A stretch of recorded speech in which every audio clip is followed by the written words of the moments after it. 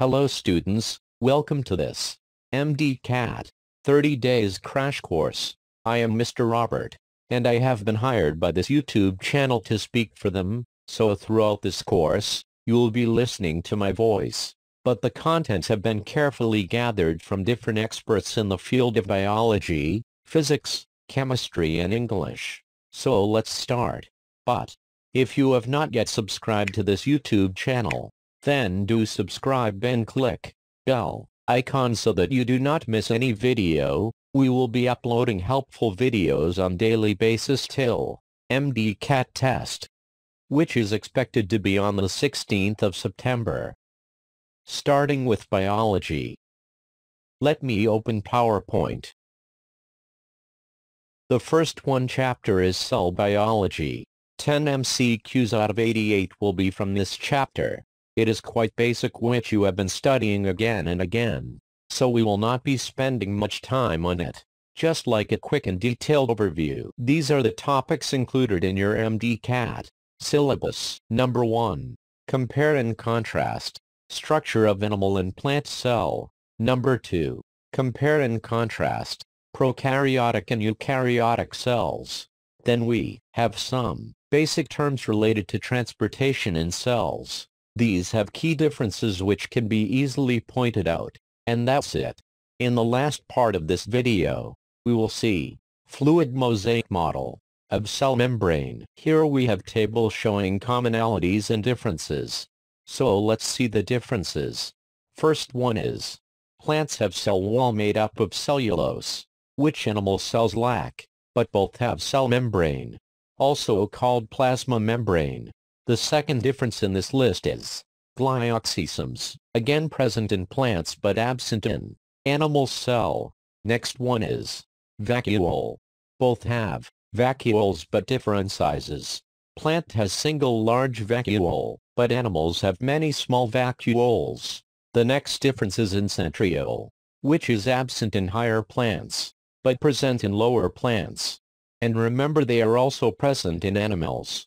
Next, we have plastids which are absent in animal cell, but present in plants. Then we have flagellum. These are present in only animals, and helps in movements. Plants do not move so flagella are absent in plants. Chloroplasts, which is responsible for the process of photosynthesis are only present in plants and absent in animal cell.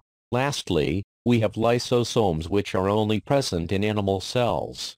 Now, move on to the next topic, which is comparison of prokaryotic cell and eukaryotic cell.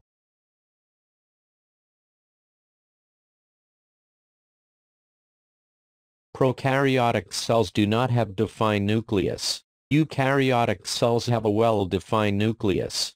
Prokaryotes are small in size like bacteria, which cannot be seen with naked eyes whereas mostly eukaryotes are large in size.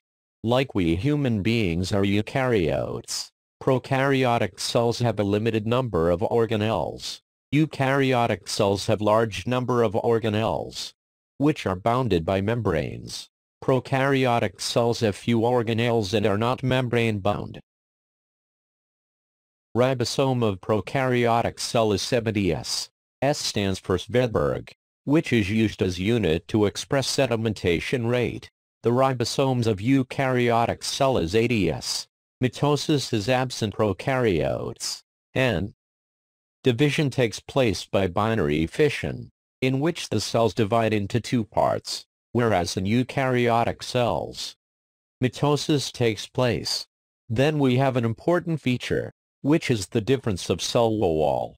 Prokaryotic cell has a cell wall composed of polysaccharide chains covalently linked to shorter chains of amino acid forming peptidoglycan or murein, whereas cell wall of plants is generally made of cellulose. Cell wall of fungi is made of chitin. Bacteria and blue-green algae are examples of prokaryotic cells. Animal plants fungi protista are examples of eukaryotes. Next, we have some basic terms related to transportation across cell membrane. We will be discussing only few important, which are mentioned in MDCAT syllabus. Cell membranes contain charged pores through which movement of materials takes place, both by active and passive transport. First one is diffusion which is defined as the net movement of particles from an area of higher concentration to an area of lower concentration. It happens due to random movement of particles. It is a passive process, means there is no energy needed. You can see here the demonstration of diffusion. In this figure, in the first beaker, dye molecules are which has a greater concentration. In the second beaker, the dye molecules start to move in all directions due to diffusion in the third beaker. We have attained the equilibrium, which means all the particles are equally distributed. Next we have facilitated diffusion.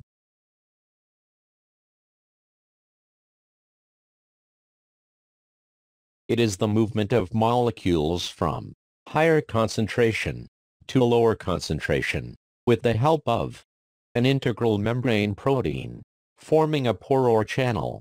It is also passive transport, because no ADPs are required.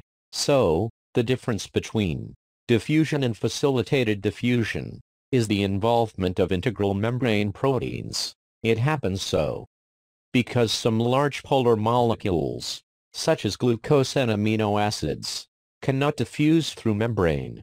Here on this figure, we have demonstrated the basic difference between diffusion and facilitated diffusion. In the first one part, you can see on left side of membrane we have higher concentration of molecules, and on the right side we have lower concentration of molecules, and the molecules are moving from higher concentration to lower concentration, through the cell membrane.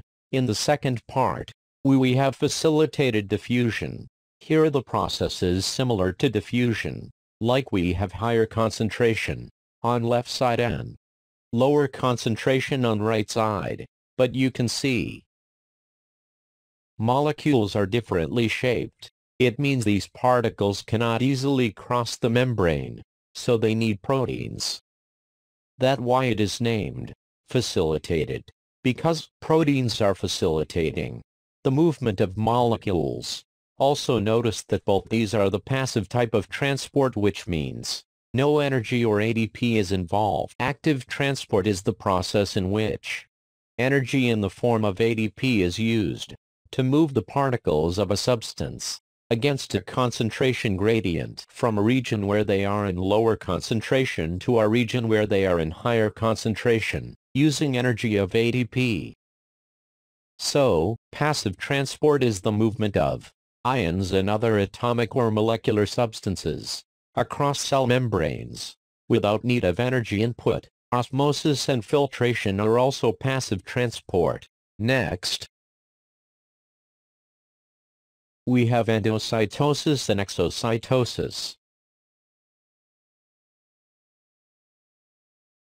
Both of these are cellular means of transporting substances across a cell membrane, via the use of a vesicle. However, the processes differ in the direction in which the substances move across the cell membrane. During endocytosis, substances are brought into the cell. Endo means in. Exo means exit. So, exocytosis is the process in which substances exit the cell.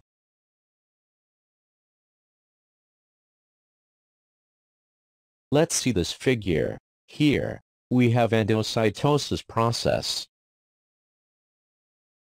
This green color here represents cytoplasm inside the cell. Here the substances are being moved into the cell by forming a vesicle.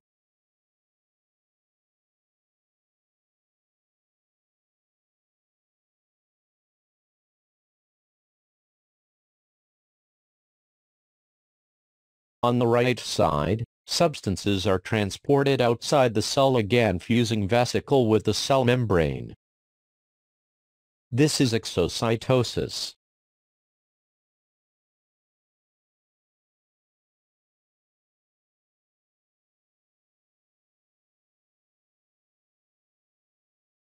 Phagocytosis and pinocytosis are two variations of endocytosis.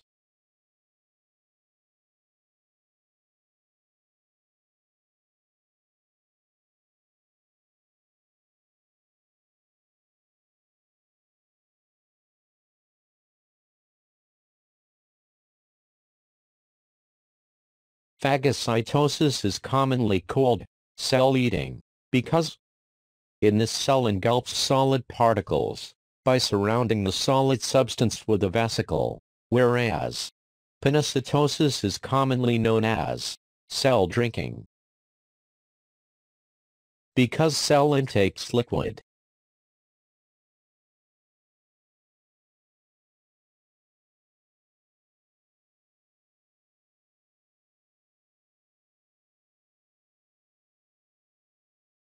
Now move on to last part of this lecture. The topic is fluid mosaic model of cell membrane. And you can see this model here in this diagram.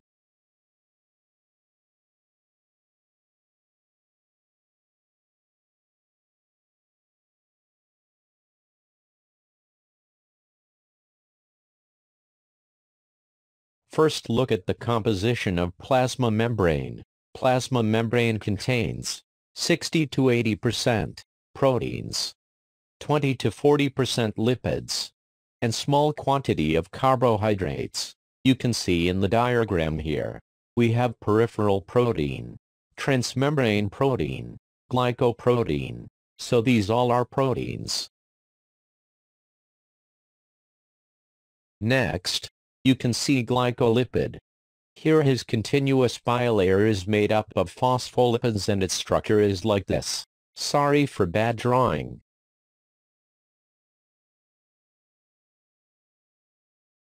And finally few carbohydrate molecules present in bilayer.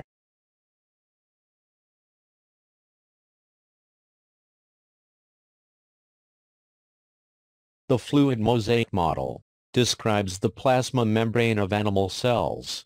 The plasma membrane surrounds the cells, and has two layers of phospholipids, forming bilayer. Protein layers are not continuous, and are not confined to surface of the membrane, but are embedded in lipids layers in mosaic manner. Now the question arises, why the plasma membrane is described using the fluid mosaic model. This is the most acceptable model at present. Proteins and substances such as cholesterol become embedded in the bilayer giving the membrane the look mosaic and able to move across it.